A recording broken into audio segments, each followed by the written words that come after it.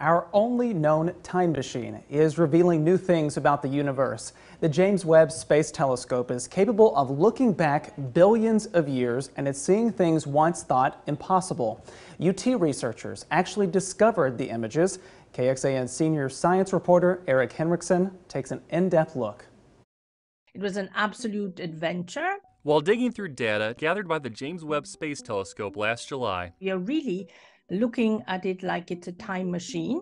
Dr. Shardha Jogee and her team noticed something amazing. I suddenly started to see these barred galaxies pop up. The galaxy's 11 billion years old, when the current universe was in its infancy, something scientists thought wasn't possible. From Hubble, we got the impression that there wouldn't be any barred galaxy beyond a certain epoch in the universe. Webb can see further than any known telescope, and the further it looks, the further back in time it sees. So the image we are seeing at this moment is not what the galaxy looks like now. It's what the galaxy looked like when that light left it. When you think about a galaxy, you probably think of the Milky Way.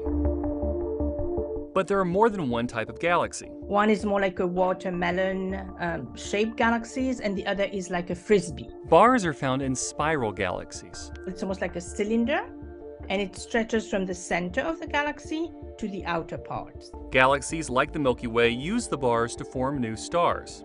They help to solve the supply chain problem in galaxies, right? They take the gas that's in the outer part of the galaxy, they bring it to the center. Dr. Jogee said they didn't expect Webb to see what it did.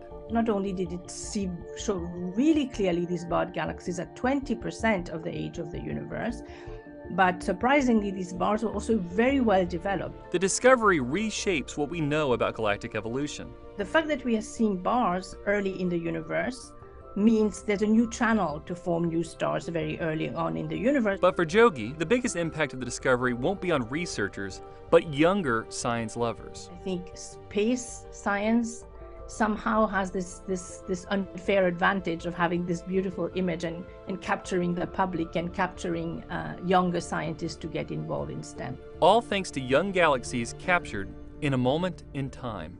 In Austin, Eric Henriksen, KXAN News.